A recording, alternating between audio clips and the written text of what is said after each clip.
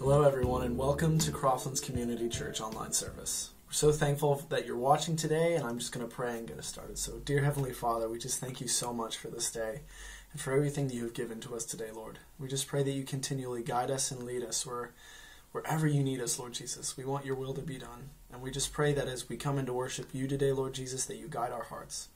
It's in your name we pray, Lord. Amen. And with that, let's get started with our worship.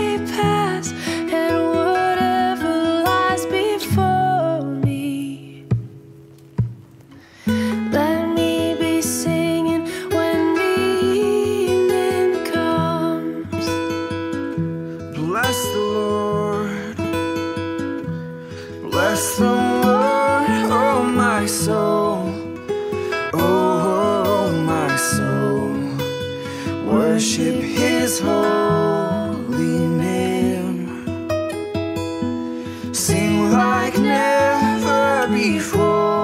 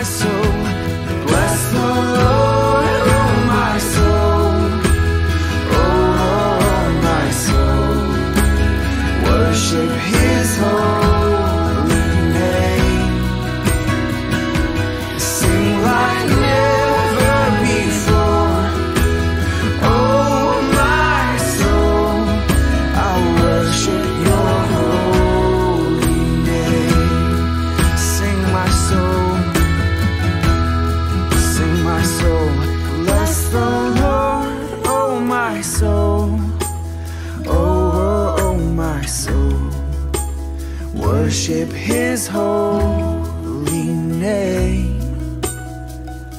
Sing like never before.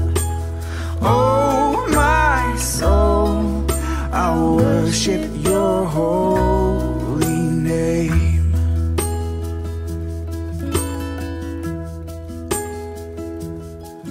And on that day when my strength is failing, the end draws near and my time has come.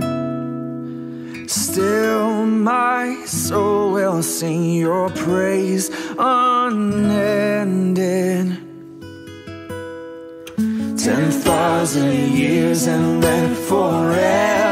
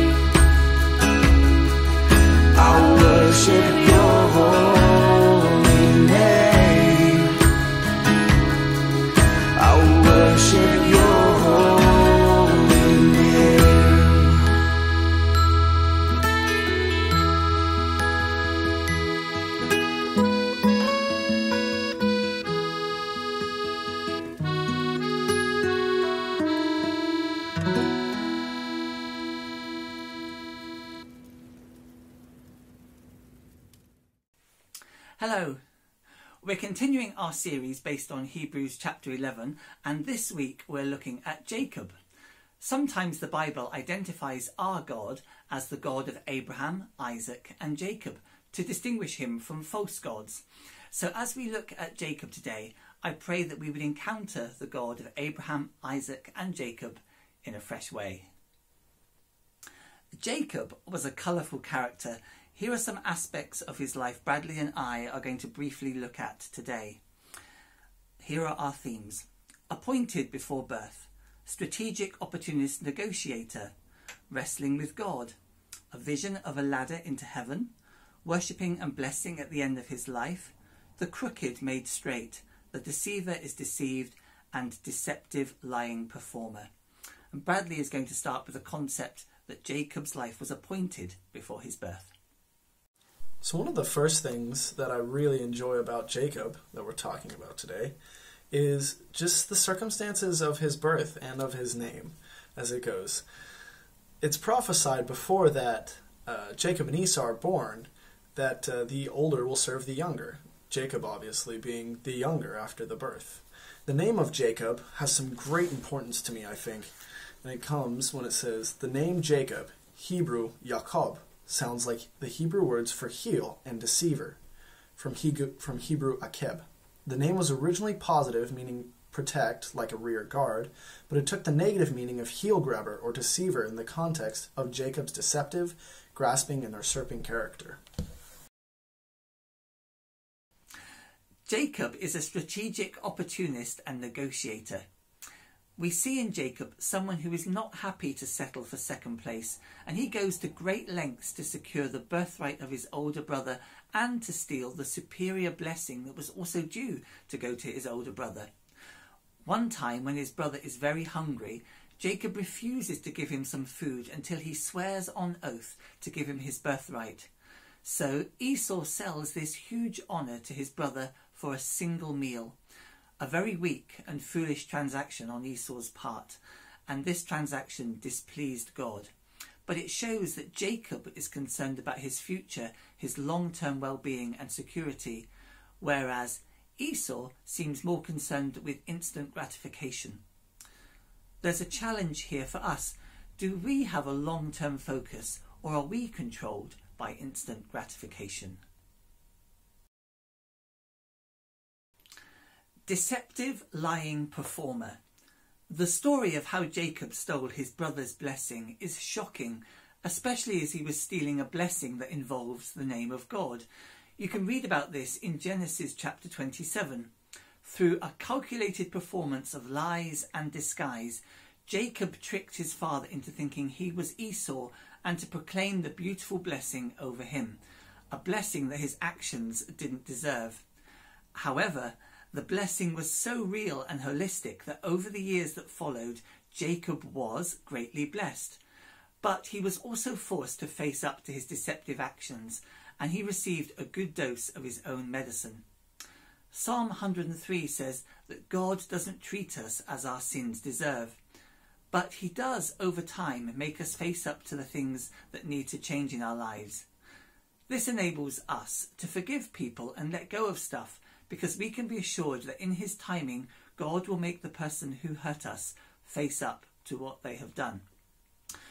On different levels, we sometimes perform to get through certain situations, presenting something on the outside that isn't entirely true. Church can certainly be a place where we present what we think people want to see.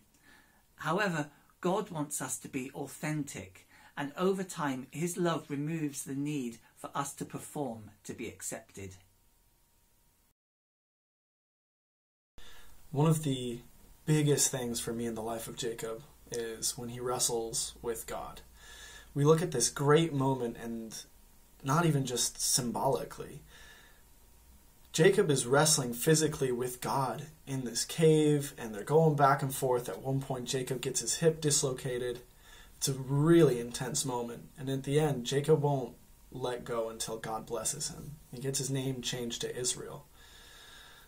And there's so much beauty in the fact that Jacob never gives up on wrestling with God. He never gives up on the fact that he wants to so badly to be close with him, but he wrestles with his own nature to become closer to him. The deceiver is deceived. Jacob, on two occasions in his life, was significantly tricked and deceived by people. Firstly, by his father in law, who gave him the wrong daughter on his wedding day, and secondly, by his own sons, who deliberately led him to believe that his favourite son, Joseph, was dead. There's a real sense of natural justice here and of reaping what you sow. I wonder if perhaps you're struggling with a difficult situation in your life at the moment.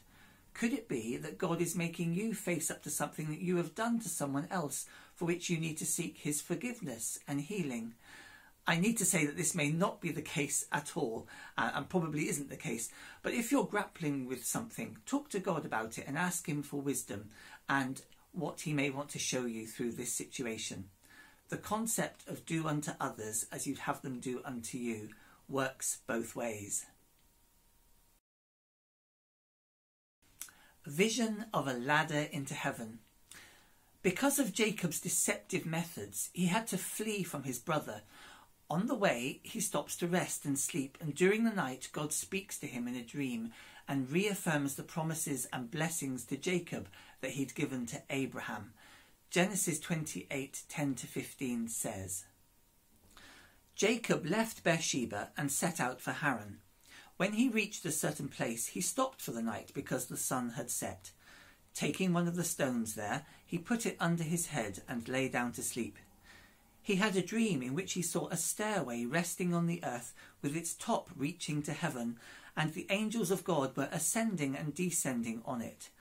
There above it stood the Lord, and he said, I am the Lord, the God of your father Abraham and the God of Isaac. I will give you and your descendants the land on which you are lying. Your descendants will be like the dust of the earth, and you will spread out to the west and to the east, to the north and to the south. All peoples on earth will be blessed through you and your offspring. I am with you, and I will watch over you wherever you go, and I will bring you back to this land. I will not leave you until I have done what I have promised you. No longer is this a second hand blessing and set of promises passed on to Jacob from his father. Jacob has had his own personal encounter with God and starts his own relationship with him. The challenge to us is is my relationship with God second hand, or have I had my own personal encounter with Him? Don't feel bad if you think your relationship with God is second hand. Ask God to speak to you in some way that personally connects you to Him. I'm sure if you rummage around in your Bible, He will talk to you.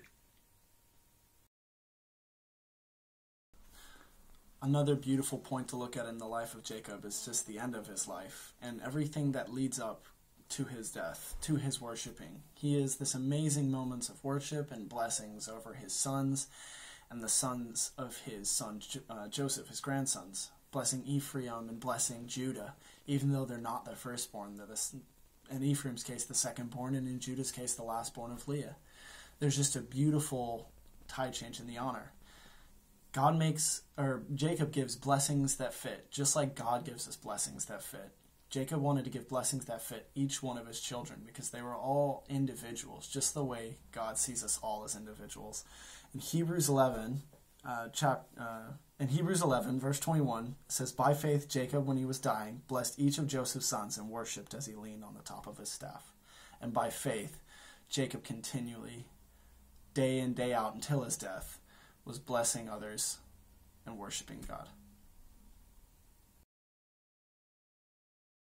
Crooked made straight. Isaiah prophesied that before the Messiah came, someone would prepare the way for him, and here are his words from Luke chapter 3, verse 4. As it is written in the book of the words of Isaiah the prophet, a voice of one calling in the wilderness, Prepare the way for the Lord, make straight paths for him. Every valley shall be filled in, and every mountain and hill made low. The crooked ways shall be made straight, and the rough ways smooth, and all humanity will see God's salvation. Jacob is an inspiring picture of someone who was crooked being made straight, someone who journeyed with God and who was changed from someone who deceived to someone who was full of truth, worship, and blessing. He passed on a clear blessing to each of his children that showed he knew them all as unique individuals. Jacob was also reconciled with his brother Esau during his lifetime. Esau was also blessed, but his family tree is no more. However, Jacob's family are still here. His family and his new name Israel live on. God is a faithful God who keeps his promises. Thank you so much for joining us, and uh, we're just praying that you have a great rest of your day. And with that, let's say the grace. May the grace of our Lord Jesus Christ, and the love of God our Father, and the fellowship of the Holy Spirit be with us now and evermore. Amen. Take care.